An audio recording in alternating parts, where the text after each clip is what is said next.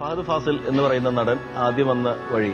അദ്ദേഹത്തിന്റെ കയ്യെത്തും ദൂരത്ത് സിനിമ അല്ലേ? കയ്യെത്തും ദൂരത്ത് അദ്ദേഹത്തിന് ഏറ്റവും നമ്മുടെ എല്ലാവരുടെയും പ്രിയങ്കരനായിട്ടുള്ള ഫാസിൽ സാർ എന്നെ ഡയറക്ട് ചെയ്ത പടം. ആ പടത്തിൽ വന്നതോടുകൂടി നമ്മളെല്ലാവരും വിചാരിച്ചിരുന്ന ഫഹദ് ഫാസിൽ എന്ന് പറയുന്ന ഒരു നടൻ പിന്നീട് ഉണ്ടാവും. ഇപ്പോ ഉള്ള അദ്ദേഹത്തിന്റെ ഒരു ആക്ടിംഗ് കപ്പാസിറ്റി അല്ലെങ്കിൽ ഈ ഒരു ലെവലിലേക്ക് വരുന്നത് നമ്മൾ ആരെങ്കിലും ചിന്തിച്ചിട്ടുണ്ട്? എല്ലാവരും അന്ന് അതെ നമ്മൾ ഒരാളെ ഒരു സിനിമ കണ്ടിട്ട് ഒരാളെ ഇതാണ് ഇയാളുടെ കഴിവ്. ഓ ഇയാൾ ഇനി രക്ഷപ്പെടാന്ന് അങ്ങനെ അത് നമുക്ക് പറയാൻ പറ്റില്ല. ഇപ്പൊ നിങ്ങളിലിരിക്കുന്ന ആളുകൾക്ക് എന്തൊക്കെ കഴിവുണ്ടെന്ന് എനിക്ക് ഇങ്ങനെ പറയാൻ പറ്റും? അത് നിങ്ങൾ മോശക്കാരാണോ? അല്ല നിങ്ങൾക്ക് പല ഏതെങ്കിലും ഒരു ഫീൽഡിൽ ഭയങ്കരമായി ടാലന്റ് ഉള്ള ആളുകളായിരിക്കാം നിങ്ങൾ എല്ലാവരും അപ്പൊ നമ്മളത് സ്വയം കണ്ടെത്താൻ കുറച്ച് ടൈം എടുത്തെന്നിരിക്കും. നമ്മൾ മനസ്സിലാക്കി സ്വയം ആ ഒരു അവസ്ഥയിലെത്താൻ കുറെ ടൈം എടുത്തെന്നിരിക്കും. ചിലപ്പോൾ ആറ് വർഷമായിരിക്കാം അല്ലെങ്കിൽ പന്ത്രണ്ട് വർഷമായിരിക്കാം.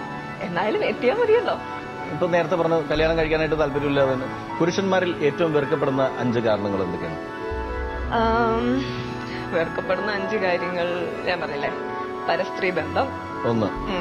പിന്നെ വന്നിട്ട് വിശ്വാസവഞ്ചന അതൊക്കെ രണ്ടും അല്ല രണ്ടുമെങ്കിലും ഇപ്പൊ പരസ്ത്രീ ബന്ധം അതിലുണ്ടായെങ്കിൽ പോലും നമ്മൾ ഞാൻ പറയാം പറയാം എടുത്തു പറയാൻ അഞ്ച് കാരണങ്ങൾ വേണ്ടേ? എല്ലാ അഞ്ചെണ്ണം ഞാൻ കണ്ടുപിടിക്കട്ടെ. പരസ്ത്രീ ബന്ധം വിശ്വാസവഞ്ചന എന്ന് പറഞ്ഞ രണ്ടും ഏകദേശം മറ്റേ ഇതിൽ പറഞ്ഞ പോലെ പ്രൈവറ്റ് ബസ്സും ട്രാൻസ്പോർട്ട് ബസ്സും പിന്നെ എന്താ ഇഷ്ടപ്പെടാത്ത കാര്യം? വേറൊന്നുമില്ല മുൻകോപം വേണമെങ്കിൽ അങ്ങനെ പറയാം. മുൻകോപം. പിന്നെ? ഉണ്ടെങ്കിൽ. പിന്നെ എനിക്ക് കിട്ടുന്നില്ല മദ്യപാനവും. ഓ മദ്യപാനം. ഓ, മദ്യപാനം. ദൈവം വയ്യ വിട്ടുപോയി. സ്ത്രീകളോട് മോശമായി പെരുമാറുക സ്ത്രീകളോട് മോശമായി പെരുമാറുക മദ്യപാനം പിന്നെ പരസ്ത്രീ ബന്ധം സ്ത്രീ ബന്ധം ആ അപ്പോഴും ആണുങ്ങളിൽ എന്താ ഇഷ്ടം? ആണുങ്ങളിൽ ഏറ്റവും കൂടുതൽ ഇഷ്ടപ്പെടുന്നത് എന്താണ്? ആണുങ്ങൾ ജയസൂര്യ ചോദിച്ച പോലെ എന്നിൽ എന്താണ് ഇഷ്ടം? ആളുകളിൽ അങ്ങനെ ഒരു പ്രത്യേക ഇഷ്ടം എന്ന് പറഞ്ഞാൽ നല്ല നല്ല രീതിയിൽ പെരുമാറുന്നത് എനിക്ക് ഇഷ്ടമാണ് ആളുകൾ സ്ത്രീകളെ കെയർ ചെയ്യുന്ന ഇഷ്ടമാണ് പിന്നെന്താണ് അങ്ങനെ ഒരു പ്രത്യേക ഇഷ്ടം എനിക്ക് പറയാം അല്ലെ കാണാൻ ക്യൂട്ടായിട്ടുള്ള പയ്യന്മാരെ ഇഷ്ടമാണ്. ഒരു ചെറിയ ഡൗട്ട് ഈ പരശ്രീ ബന്ധം ഇടയ്ക്കിടയ്ക്ക് ഹൈലൈറ്റ് ചെയ്യുന്നുണ്ടല്ലോ. താങ്കളുടെ കാമുകന് രണ്ട് കാമുകിമാരുണ്ടായിരുന്നു? എനിക്ക് കാമുകൻ ഇല്ലല്ലോ.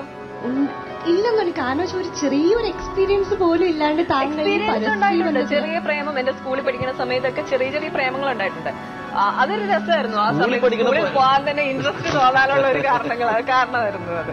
അപ്പം പക്ഷെ ഈ സിനിമ ഫീൽഡിൽ വന്നതിന് ശേഷം സത്യം പറഞ്ഞാൽ എനിക്ക് ഒരു പ്രണയം ഉണ്ടായിട്ടില്ല.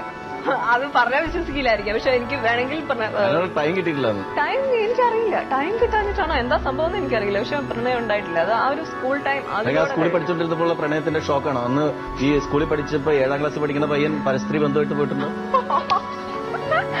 ഇല്ല ഇല്ല ഇല്ല. അതിന്റെ. അതിന്റെ ഷോക്കൊന്നുമില്ല ഒരാളെ സെലക്ട് ചെയ്ത ബാക്കിയുള്ളവർ പിണങ്ങും എന്ന് വെച്ചിട്ടാണോ? ഞാനോ? അങ്ങനെ ഒരു ചിന്തയുണ്ട്. നമുക്ക് കാരണം ഇപ്പൊ നമ്മൾ ഒരാളെ സെലക്ട് ചെയ്ത് കഴിഞ്ഞാൽ ഇനി വേറെ ഒരാൾ വരാനിരിപ്പുണ്ടോ? അതിലും ബെറ്റർ ആയിട്ടുള്ളത് നമുക്ക് അറിയാൻ പറ്റില്ലല്ലോ. അപ്പം കുറച്ചുകൂടെ വെയിറ്റ് ചെയ്തിട്ട് സെലക്ട് ചെയ്യാം. താങ്കൾ ഇത്രയും നേരം സംസാരിച്ചതിലൊക്കെ ഫേവറേറ്റ് ആക്ടർ പറഞ്ഞില്ല ഡയറക്ടർ പറഞ്ഞില്ല ആരും പറഞ്ഞില്ല. എന്ത് പറഞ്ഞാലും ഞാൻ ഞാൻ ഞാൻ ഞാൻ ഞാൻ.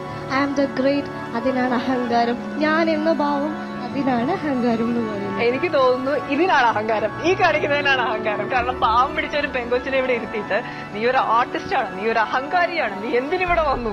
ഈ ഒരു ലെവലിൽ നമ്മൾ ഒരാളെ എടുത്ത് ചോദിക്കുമ്പോൾ അതല്ല അഹങ്കാരം എന്ന് പറയുന്നത്? എനിക്കങ്ങനെ തോന്നുന്നു. നമ്മൾ ഒരാളെ നമ്മൾ ഒരാളുടെ എടുത്ത് സംസാരിക്കുമ്പോൾ കുറച്ചും കൂടി ഒരു കുറച്ചും കൂടി പൊളൈറ്റ് ആവാം. കുറച്ചും കൂടി ഒന്ന് എന്താ പറയാ? ആക്ച്വലി നിങ്ങൾ നിങ്ങൾ നിങ്ങളുടെ കൂട്ടത്തിൽ ഇദ്ദേഹം ഇദ്ദേഹം പറയുന്നത് സപ്പോർട്ട് ചെയ്യുന്ന ഒരു എത്ര പേരുണ്ട്?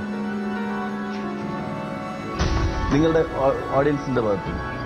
എത്ര പേര് സപ്പോർട്ട് ചെയ്യുന്നു? ഇപ്പൊ ഇവിടെ ഇരിക്കുന്ന ഞാൻ ആങ്കർ പേഴ്സൺ എന്ന് പറഞ്ഞിട്ട് സെലിബ്രിറ്റി അങ്ങനെ അതല്ല. നിങ്ങളുടെ ഭാഗത്തു നിന്ന് എത്ര പേര് എത്ര പേര് വളരെ അക്ഷയ. അക്ഷയ. അക്ഷയെ സപ്പോർട്ട് ചെയ്യുന്ന നിങ്ങളുടെ ഭാഗത്തു നിന്ന് എത്ര പേരുണ്ട്?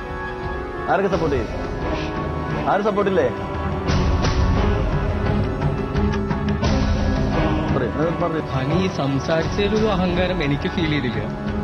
അല്ല എന്റെ അടുത്ത് പലരും പറഞ്ഞത് ഞങ്ങൾ ഇന്റർവ്യൂ കണ്ടിട്ടുള്ള ആളുകൾ കേട്ടോ എന്റെ അടുത്ത് പറഞ്ഞു എനിക്കറിയില്ല. അഹങ്കാരം ഞങ്ങൾക്ക് ഫീൽ ചെയ്തേ ഇല്ല എന്ന് പലരും എന്റെ അടുത്ത് പറഞ്ഞിട്ടുണ്ട്. കാരണം സാധാരണ സംസാരിക്കുന്ന പോലെ സാധാരണ രീതിയിൽ തന്നെ സംസാരിച്ചു അങ്ങനെ തന്നെ വേണം എന്ന് പലരും എന്റെ അടുത്ത് സംസാരി പറഞ്ഞിട്ടുണ്ട്. അപ്പൊ എനിക്ക് അല്ലെങ്കിൽ ഞാൻ ഒരിക്കലും ഞാൻ ഞാൻ എങ്ങനെയാണോ അതേപോലെ തന്നെ ഞാൻ എല്ലാവരുടെ അടുത്തും സംസാരിക്കാറ്. ഇപ്പം താങ്കൾ ഇത്രയൊക്കെ പറഞ്ഞു. അപ്പൊ എനിക്ക് എനിക്ക് ഫീൽ ചെയ്യുന്നതെന്ന് വെച്ചാൽ ഒരാളുടെ അടുത്ത് നമ്മൾ സംസാരിക്കുമ്പോൾ കുറച്ചും കൂടി ഒരു എന്താ പറയാ കുറച്ചും കൂടി ഒന്ന് പൊളൈറ്റ് ആവാം എന്ന് എനിക്ക് ഫീൽ ചെയ്തു. ഹണി റോസ്. ഇവിടെ വന്ന് നമ്മുടെ കൂടെ ഈ സ്റ്റാർ റാഗിംഗ് എന്നുള്ള പരിപാടിയിൽ പങ്കെടുത്ത് കുറച്ചൊക്കെ ഇങ്ങനെ എനിക്ക് തോന്നുന്ന ചെറിയ കുഞ്ഞു ഉള്ളൂ. അത്രേ ഉള്ളൂ. പിന്നെ എനിക്ക് തോന്നുന്ന ആദ്യകാലങ്ങളിൽ ചെറിയ ചെറിയ വേഷങ്ങളിൽ അല്ലെങ്കിൽ ചെറിയ വേഷം എന്നല്ല നമ്മൾ വന്നിട്ട് കുറെ വലിയ പിന്നീട് ഒത്തിരി ഫേമസ് ആയിട്ടുള്ളവരെ എല്ലാവരെയും ചരിത്രം എടുത്തിട്ടുണ്ടെങ്കിൽ സ്റ്റെപ്പ് ബൈ സ്റ്റെപ്പ് ആയിട്ടുള്ള ഒരു കയറ്റമാണ് ഏറ്റവും നല്ലത്. അല്ലാണ്ട് ഒറ്റയടിക്ക് ഒരു സുപ്രഭാതത്തിൽ തപ്പ് എന്ന് പറഞ്ഞുകൊണ്ട് കയറി വന്നേക്കുന്ന പലരും ഒറ്റയടിക്ക് വീണ് പോയിട്ടുണ്ട്.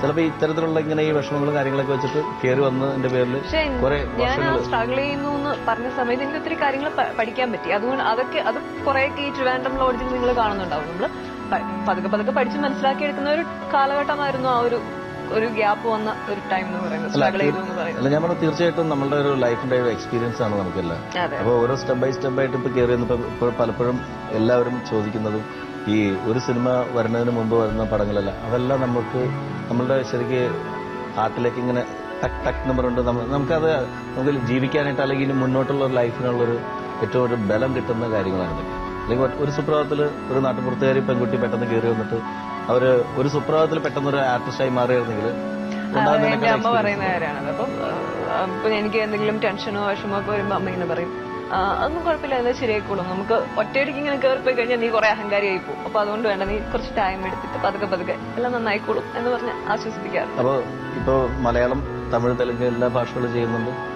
തീർച്ചയായിട്ടും മലയാള ഇന്ത്യൻ സിനിമയിൽ തന്നെ ഏറ്റവും അറിയപ്പെടുന്ന ഒരു ആർട്ടിസ്റ്റായിട്ട് ഞങ്ങൾ എല്ലാവരും പ്രാർത്ഥിക്കുന്നു ആശംസിക്കുന്നു. താങ്ക് യു വന്നതിൽ ഒരുപാട് ഒരുപാട് സന്തോഷം. താങ്ക് യു നമസ്കാരം. ഇന്നത്തെ കാലത്ത് എല്ലാ പുരുഷന്മാരും പരസ്ത്രീ ബന്ധമുള്ളവരാണ്. അങ്ങനെ ഞാൻ പറഞ്ഞിട്ടില്ല. പുരുഷന്മാർ എല്ലാവരും പ്രശ്നക്കാരാണെന്നൊന്നും ഞാൻ പറഞ്ഞിട്ടില്ല. മാഗസിൻ വായിച്ചത് വെച്ചിട്ട് ഞാൻ പറഞ്ഞൊന്നില്ലല്ലോ ഇടയ്ക്ക് ഒരു ഗ്യാപ് വന്നാലേ എനിക്ക് എന്റെ കാര്യം ഓപ്പൺ ആയിട്ട് പറയാൻ പറ്റുള്ളൂ. ഓക്കെ ഞാൻ താങ്കൾ ഫിനിഷ് ചെയ്ത് കഴിയുമ്പം എനിക്ക് എനിക്ക് പറയാനുള്ള ഒരു അവസരം തരണം. ഒരുപാട് അങ്ങോട്ടേക്ക് അഹങ്കരിക്കരുത്. എനിക്ക് തോന്നുന്നു ഇതിനാണ് അഹങ്കാരം.